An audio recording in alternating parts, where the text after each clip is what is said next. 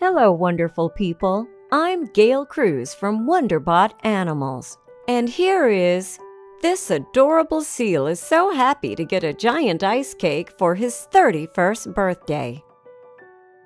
Before we begin, make sure to click the like button, subscribe to our channel, and click the notification button for more amazing videos.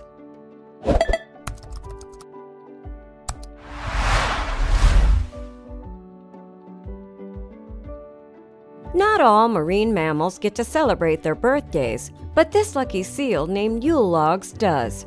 This adorable creature turned 31 on September 10th and celebrated the special day with his human friends at the Cornish Seal Sanctuary. While seal birthday parties aren't a usual thing, the staff at the facility thinks Yule Logs deserves to have this one. So, to mark the occasion, they give him a cake made with fish and ice. The seal was thrilled upon receiving the gift.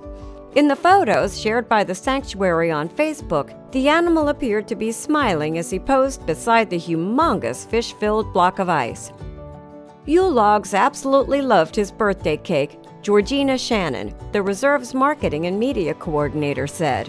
It's a great form of enrichment for him also, as it requires a bit of thinking on how to get the fish out of the cake. He became the happiest seal in the sanctuary that day as he devoured his delicious treat. On the other hand, his carers were extremely delighted to see the look of utter contentment on his face. It's been an incredibly tough few months at the sanctuary and for everyone due to COVID 19, Shannon said, so it was just really nice to have a moment of celebration.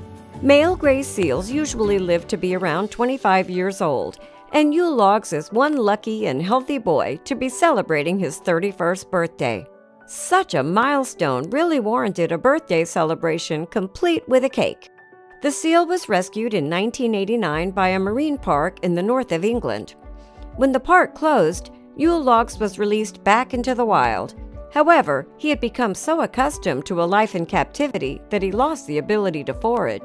Three months after his release, the RSPCA rescued him after receiving reports of Yule logs chasing people with buckets on the beach.